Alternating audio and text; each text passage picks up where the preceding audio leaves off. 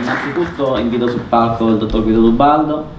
che è il segretario nazionale dell'Ordine dei giornalisti, nonché caposervizio del Corriere dello Sport, era impegnato in, altro, in altre faccende precedenti, ma è riuscito a raggiungerci. Grazie. E insieme a me, insomma, e molto meglio di me, modera questo, questa tavola rotonda.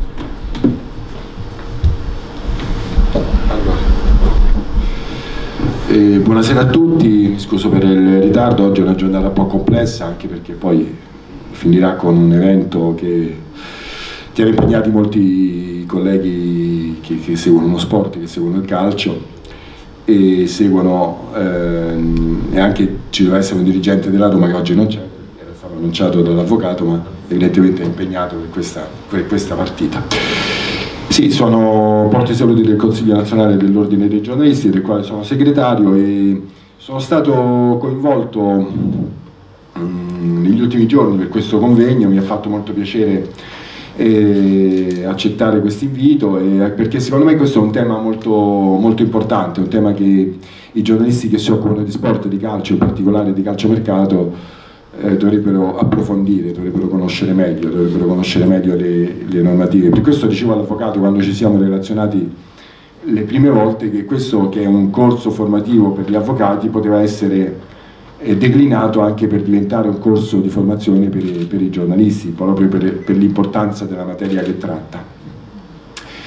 Ho sentito gli interventi che ci sono stati finora e devo dire che mi ha colpito molto anche perché come suo solito molto diretto l'intervento del Presidente Lotito, perché credo che il Presidente Lotito con tutte le sue a volte esuberanze va riconosciuto il fatto di essere stato un Presidente che si è, eh, dire, che si è ribellato a, a certe eh, cattive usanze che c'erano nel mondo del calciomercato. Lotito ha rinunciato a un grande giocatore come Pandev per, una, per, per, seguire una linea di principio, mi sembra che abbia insomma, qualche problema anche per rinnovare il contratto di un altro giocatore importante in questo momento nella Lazio, però comunque mi sembra che abbia dato una linea che forse poi anche altre, altre società hanno, hanno, tenuto. Per cui credo che questo in qualche modo va, va tenuto presente. Poi questo fatto che il, il procuratore sportivo mh, al momento non, eh, non fa un corso, non, mm, non c'è una missione alla, alla, alla, a un albo. Una volta c'era un esame, adesso non c'è più, no? Se così, se non credo non sbaglio. E quindi questo secondo me è un, un tema da, da, affrontare, perché comunque il, il procuratore sportivo tocca dei,